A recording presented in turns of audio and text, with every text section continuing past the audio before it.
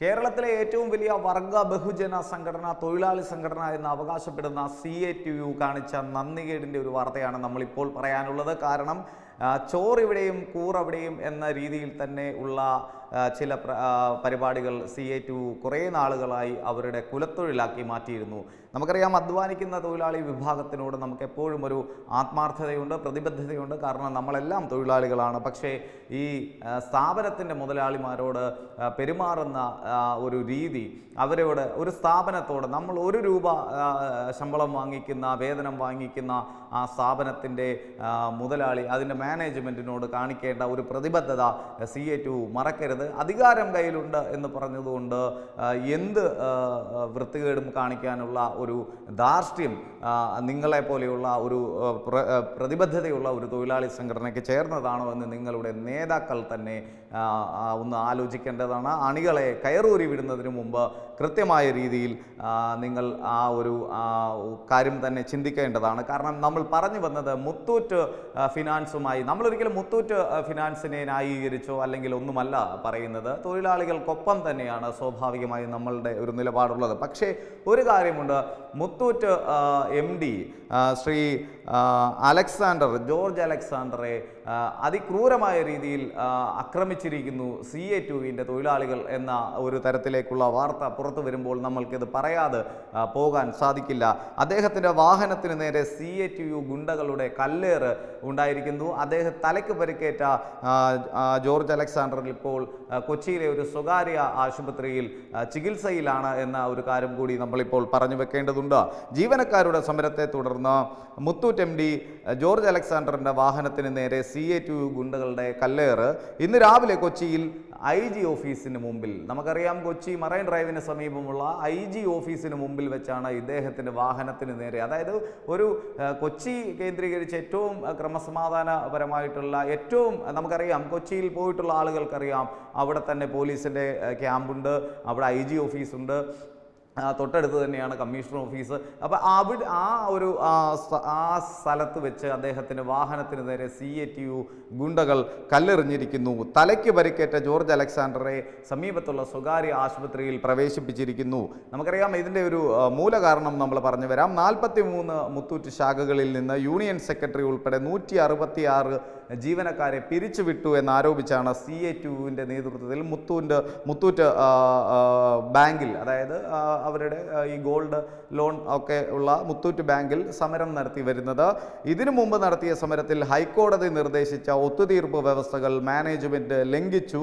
സർക്കാർ അനുമതി ഇല്ലാതെയാണ് ഈ തൊഴിലാളികളെ പിരിച്ചുവിട്ടത് എന്നൊക്കെയാണ് സി എ ടുവിന്റെ ആരോപണം. പണത്തിന്റെ ഹുങ്കിൽ മാനേജ്മെന്റിന് എന്തുമാകാമെന്ന നിലപാടാണെന്നാണ് സി എ ടുവിന്റെ സംസ്ഥാന ജനറൽ സെക്രട്ടറി എളമരം കരയും പഴയ നമുക്കറിയാം തൊഴിൽ മന്ത്രിയായിരുന്നു അദ്ദേഹം പറഞ്ഞു വെച്ചിരിക്കുന്നത്. പക്ഷേ മാനേജ്മെന്റുമായി ഉണ്ടാക്കിയ സേവന വേതന കരാർ നടപ്പിലാക്കാതെ വന്നതോടെ ഓഗസ്റ്റ് ഇരുപതിന് C A two C A two ആരംഭിച്ച സമരം അൻപത്തിരണ്ട് ദിവസം നീണ്ടു നിന്നിരുന്നു. നമുക്കറിയാം കേരളത്തിൽ മുത്തൂറ്റ് ഫിനാൻസിന്റെ ബിസിനസ്സിനെയൊക്കെ വളരെ പ്രതികൂലമായി തന്നെ അത് ബാധിച്ചിരുന്നു.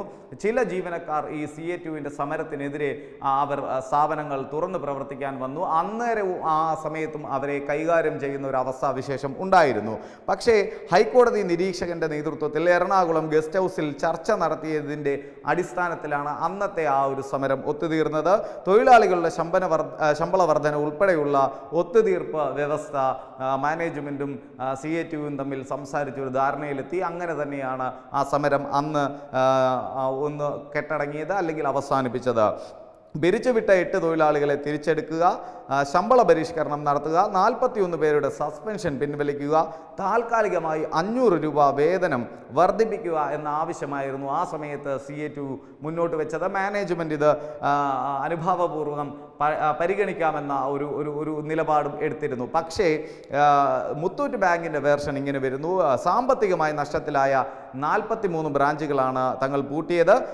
ജോ ജീവനക്കാർക്ക് ജോലി നഷ്ടമായത് ഈ നാൽപ്പത്തി മൂന്ന് ബ്രാഞ്ചിലെ സാമ്പത്തികമായി തങ്ങൾക്ക് ഒരു തരത്തിലും മുന്നോട്ട് കൊണ്ടുപോകാൻ സാധിക്കാത്ത ബ്രാഞ്ചുകളിലെ ജോലിക്ക ജീവനക്കാർക്കാണ് തൊഴിൽ നഷ്ടപ്പെട്ട നഷ്ടപ്പെട്ടതെന്നാണ് മുത്തൂറ്റ് ഫിനാൻസ് ഔദ്യോഗികമായി അറിയിച്ചത്. മാത്രമല്ല തുടർച്ചയായി സി എ ടുവിന്റെ നേതൃത്വത്തിൽ നടത്തുന്ന ഇത്തരത്തിലുള്ള സമരങ്ങൾ തങ്ങളുടെ ബിസിനസ് വളരെ രീതിയിൽ പുറകോട്ട് കൊണ്ടുപോയി എന്നും മുത്തൂറ്റ് ഗ്രൂപ്പ് പറയുന്നു. കൂടാതെ ജീവനക്കാരോടുള്ള പ്രതികാര നടപടിയല്ല തങ്ങൾ തങ്ങൾക്ക് യാതൊരു തരത്തിലും ഇത് മുന്നോട്ട് കൊണ്ടുപോകാൻ സാധിക്കാത്ത തരത്തിലുള്ള നഷ്ടം സംഭവിച്ച നാൽപ്പത്തി മൂന്ന് ബ്രാഞ്ചുകളാണ് തങ്ങൾ പൂട്ടിയതെന്ന ഒരു വേർഷനായിരുന്നു മുത്തൂറ്റ് ബാങ്കിന്റേത്. ഇതൊക്കെ തന്നെ നമ്മൾ പറയുമ്പോഴും മുത്തൂറ്റ് ബാങ്കിന് മുത്തൂറ്റ് ഗ്രൂപ്പിന് മുത്തൂറ്റ് ഗ്രൂപ്പിന്റെ ന്യായങ്ങൾ പറയാം സി എ ടുവിന് സി എ ടുവിന്റെ ന്യായങ്ങൾ പറയാം. പക്ഷേ നമ്മൾ മനസ്സിലാക്കേണ്ടത് കേരളത്തിലെ പോലെ ഒരു ഒരു പ്രബുദ്ധ സമൂഹത്തിൽ ഒരു സ്ഥാപന മേധാവിയോട് ഇത്തരത്തിൽ ആ, ഒരു തൊഴിലാളി സംഘടന പെരുമാറുന്നത് എത്രത്തോളം നീതീകരിക്കാൻ പറ്റുമെന്ന കാര്യം തൊഴിലാളി വർഗ പ്രസ്ഥാനമായിട്ടുള്ള സി എ ടു ആണ് ചിന്തിക്കേണ്ടത്. കാരണം ഒരു മനുഷ്യനെ ഗുരുതരമായ രീതിയിൽ ആക്രമിക്കുന്നു. അയാൾ ഒരു സ്ഥാപന മേധാവിയാണ് എന്ന ഒരു പരിഗണന പോലും നൽകാതെ അദ്ദേഹത്തിന്റെ കയ്യിൽ നിന്ന് ശമ്പളം വാങ്ങിച്ചിട്ട് അദ്ദേഹത്തിന്റെ സ്ഥാപനത്തിൽ നിന്ന് ജീവിതം കരുപ്പിടിപ്പിച്ച ചില ഗുണ്ടായുസം കാണിക്കുന്ന ചില തൊഴിലാളികൾ. പക്ഷേ മുത്തൂറ്റ് ഗ്രൂപ്പിന്റെ ഒരു പ്രസ്താവന വന്നിരിക്കുന്നു. ജോർജ് അലക്സാണ്ടർ തന്നെ പറഞ്ഞിരിക്കുന്നു. ഒരുപക്ഷെ തന്റെ തൊഴിലാളികളായിരിക്കില്ല തന്നെ ആക്രമിച്ചത്. സി എ ടുവിന്റെ ഗുണ്ടകൾ തന്നെയാണെന്ന് അദ്ദേഹം പറയുമ്പോൾ ഇതിൽ നിന്ന് കൈകഴുകിക്കൊണ്ട് പോകുവാൻ സി എ ടുവിനോ ഇളമരം കരീമിനോ സാധിക്കില്ല എന്നൊരു കാര്യം നിങ്ങൾ മനസ്സിലാക്കണം. നിങ്ങൾ നാളെ നടത്തുന്ന പണിമുടക്ക് എന്നൊക്കെ പറഞ്ഞ് നിങ്ങൾ കാണിക്കുന്ന ഈ പി പി ഡി നിങ്ങൾക്ക് തെരുവിൽ അഴിഞ്ഞാടാനുള്ള ഒരു ലൈസൻസായി നിങ്ങൾ കാണരുത്. പൊതുസമൂഹം ഇതിനോട് പ്രതികരിക്കും. കാരണം നമ്മൾ ഒരു മനുഷ്യനെ പോലും ആക്രമിച്ച് പരിക്കേൽപ്പിക്കുന്നതിനോട് യോജിക്കുന്നില്ല.